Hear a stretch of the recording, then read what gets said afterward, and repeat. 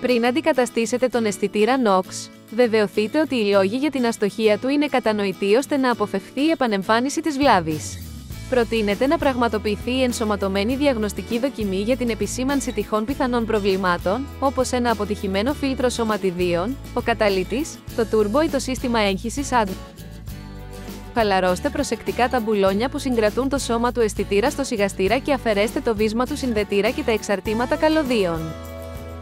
Αφαιρέστε τον αισθητήρα και τη θερμική ασπίδα από το σιλανσιέ, στη συνέχεια χαλαρώστε και αφαιρέστε το παξιμάδι της κεφαλής του αισθητήρα και τραβήξτε την κεφαλή από τη θέση του φροντίστε να σημειώσετε τους γνήσιους αριθμούς αναφοράς OE και Continental από την πίσω πλευρά του αισθητήρα και οι δύο πρέπει να αντιστοιχούν τους αριθμούς αναφοράς που βρίσκονται στην προδιαγραφή DIN Sensor.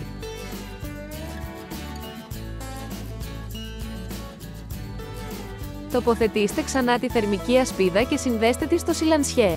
Μη σφίξετε υπερβολικά τα μπουλόνια.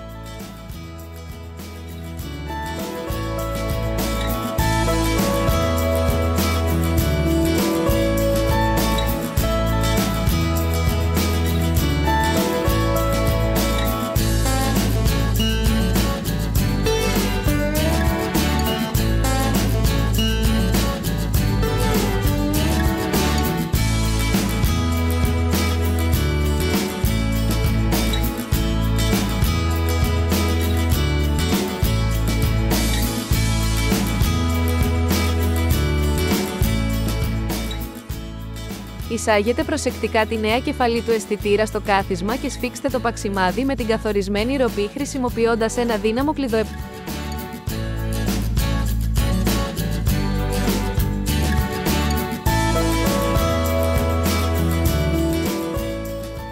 Πανατοποθετήστε τα εξαρτήματα καλωδίων και το βίσμα της φύσας, στη συνέχεια ενεργοποιήστε το κλειδί της μίζας και δείτε αν δεν εμφανίζονται σφάλματα στο OBD. Ξεκινήστε το φορτηγό και αφήστε το στο ρελαντί για λίγα λεπτά για να βεβαιωθείτε ότι τα σφάλματα από το OBD δεν θα εμφανίζονται κατά τη λειτουργία.